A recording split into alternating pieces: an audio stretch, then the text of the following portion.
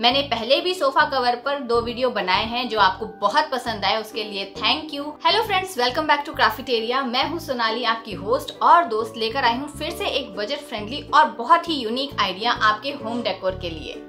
Diwali festival आने वाला है और इसमें भरपूर सफ़ाई और रिनोवेशन हमारे घर का चलता रहता है।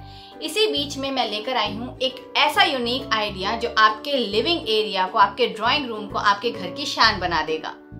सोफा आपके घर की लाइमलाइट कैसे बन सकता है? आज इस वीडियो में हम देखेंगे कि एक्सपेंसिव दिखने वाले सोफा कवर्स जो मार्केट में बहुत कॉस्टली आते हैं उन्हें हम बहुत स्मार्ट आइडियाज़ के साथ अपने सोफा को हम दे सकते हैं एक बहुत ही एक्सपेंसिव लुक और दे सकते हैं एक काउच वाली फीलिंग तो बिना टाइम वेस्ट किए चलते हैं अपने वीडियो की तरफ़. तो ये है हमारा सोफ़ा। जिसका आज हम मेक ओवर करने वाले हैं और देने वाले हैं, इसे हम एक एक्सक्लूसिव लुक एक यूनिक स्टाइल में, जो कभी आपने सोचा नहीं होगा कि हम इस तरह से भी इसके लिए कुछ क्रिएट कर सकते हैं। तो इस सोफ़ा मेक ओवर के लिए हमें क्या क्या चीज़ों की ज़रूरत होगी, चलिए देखते हैं। तो सबसे पहले यहाँ पर मैंने लिए हैं कुछ रग्स ये नॉर्मल बाथरूम रग्स हैं जो हमें मार्केट में बहुत इजीली अवेलेबल हो जाते हैं।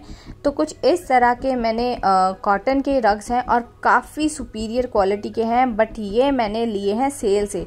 तो जो इनकी एक्चुअल कॉस्ट है, उससे मुझे ये 60 परसेंट ऑफ़ में मिल गया है। इस तरह की सेल हर फेस्टिव सीज़न में लगती है, जिससे हम अपने फेवरेट प्रोडक्ट्स पे बहुत अच्छा डिस्काउंट ले सकते हैं और अपने होम फर्निशिंग के लिए बहुत सारा आइटम्स खरीद सकते हैं। तो इस तरह की सेल्स का मैं वेट करती हूँ, जिससे मैं मेरे फेवरेट आइटम्स जो भी होते हैं, उन्हें मैं अच्छे खासे डिस्काउंट के साथ ले सकती हूँ।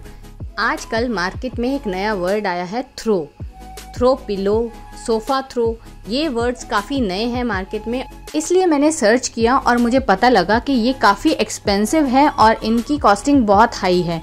तो मैंने सोचा, क्यों ना इसका एक अल्टरनेट निकाला जाए और क्यों ना इन रग्स को यूज़ करके मैं इस तरह के थ्रो क्रिएट करूँ। क्योंकि हमारा एक सोफ़ा लंबा है तो उसके लिए मुझे यहाँ दो रक्स को जोड़ना होगा। रक्स को जोड़ने के लिए यहाँ पर मैंने लंबे वाले नीडल का यूज़ किया है, जो मोस्टली गद्दा बनाने वाले लोग यूज़ करते हैं, और ये मार्केट में आपको ईजिली अवेलेबल हो जाएगी। और सेकंड मैंने यहाँ पे जो थ्रेड का यूज़ किया है, वो भी अच्छा सूत का धागा है तो वो काफ़ी स्ट्रॉन्ग है और क्योंकि इतनी मोटे हम रक्स को सिल रहे हैं तो उसके लिए हमें एक स्ट्रॉन्ग धागे की ज़रूरत होगी। तो इस तरह मैं यहाँ स्टिचिंग कर दूँगी और इन दोनों रक्स को मैं एक कवर की तरह यूज़ करूँगी।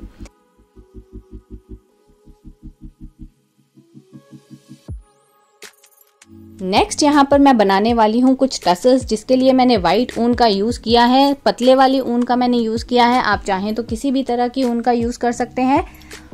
और यहाँ पर 100 राउंड्स करने के बाद यहाँ पर मैंने उसे टाई कर दिया है। तो अच्छे थिक टसल्स आप बनाएँगे तो उनका लुक काफ़ी शानदार आता है। और आप चाहें तो इसे कॉम से कॉम कर सकते हैं बट मुझे कॉम किए हुए अच्छे नहीं लगते तो मैं इन्हें कॉम नहीं करूँगी।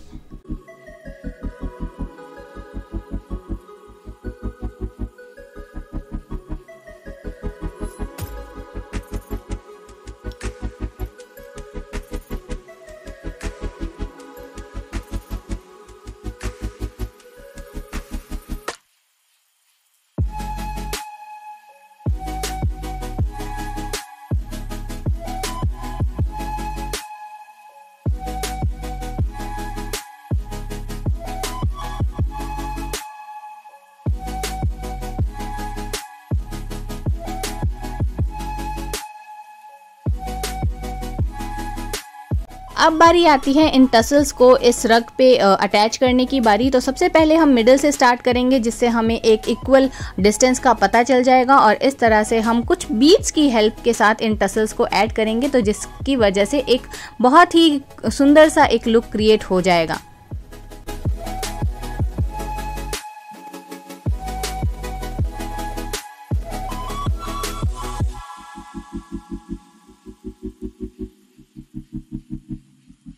अपने इस थ्रो के लुक को कंप्लीट करने के लिए यहाँ पर मैंने 20 बाई 20 इंचेस के बड़े वाले कुशंस को यूज़ किया है, जो पहले वाले कुशंस थे, हमारे 16 बाई 16 के छोटे साइज़ के कुशंस थे।